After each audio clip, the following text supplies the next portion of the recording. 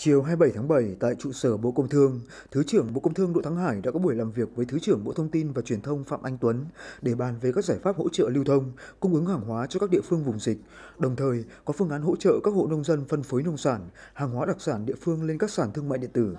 Tại buổi làm việc, Thứ trưởng Bộ Thông tin và Truyền thông Phạm Anh Tuấn cho rằng dịch COVID-19 diễn biến rất phức tạp, tốc độ lây lan nhanh chóng ở các tỉnh, thành phố. Đại dịch đã tác động, làm ảnh hưởng tiêu cực đến cuộc sống của người dân, làm đứt gãy chuỗi cung ứng hàng hóa thiết yếu. Do vậy, nhằm tháo gỡ khó khăn cho khâu lưu thông, tránh đứt gãy chuỗi cung ứng hàng hóa, Thứ trưởng Phạm Anh Tuấn đưa ra 4 đề xuất. Cụ thể, 1. Duy trì đội ngũ giao hàng shipper để đảm bảo thực hiện mục tiêu kép vừa phòng chống dịch bệnh, vừa đảm bảo phát triển kinh tế xã hội. 2. Đề nghị Bộ Công Thương phối hợp tạo điều kiện để các doanh nghiệp biêu chính tham gia sâu hơn vào khâu lưu thông, phân phối hàng hóa, nhất là trong việc ưu tiên tạo luồng xanh cho lưu thông hàng hóa thiết yếu.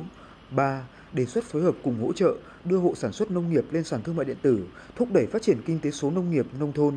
4. Đề xuất phối hợp trong công tác thông tin, tuyên truyền để có những chỉ đạo thống nhất, xuyên suốt, chính xác và kịp thời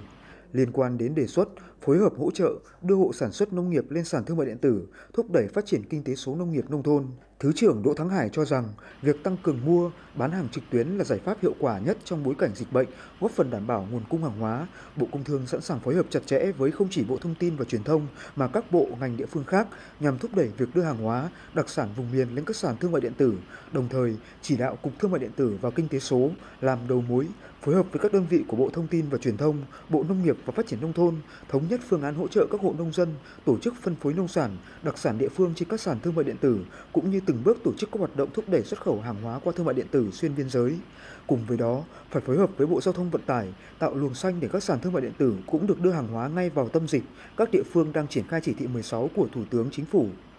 Thứ trưởng Đỗ Thắng Hải cho rằng cả hai Bộ Công Thương và Thông tin Truyền thông cùng các cơ quan báo chí phải xác định thời điểm hiện tại là tình huống không bình thường nên việc một số nơi xảy ra tình trạng thiếu hàng là điều khó tránh khỏi. Vì vậy, đề nghị các cơ quan báo chí, truyền thông nên chia sẻ với chính phủ, bộ ngành để phản ánh tình hình khách quan, đa chiều thay vì chỉ đưa những mặt không tốt. Nhất trí với những giải pháp từ phía Bộ Công Thương, Thứ trưởng Bộ Thông tin và Truyền thông Phạm Anh Tuấn cam kết các đơn vị chức năng của hai bộ sẽ phối hợp với nỗ lực cao nhất để triển khai hiệu quả các giải pháp vừa nêu. Riêng về công tác thông tin báo chí, tới đây, Bộ Thông tin và Truyền thông sẽ thành lập tổ công tác đặc biệt về thông tin truyền thông trong dịch bệnh để thông tin được lan tỏa, phổ biến sâu rộng hơn đến các địa phương, tới từng xã, phường, thôn bản trên mọi miền nhằm tạo được sự đồng thuận của người dân.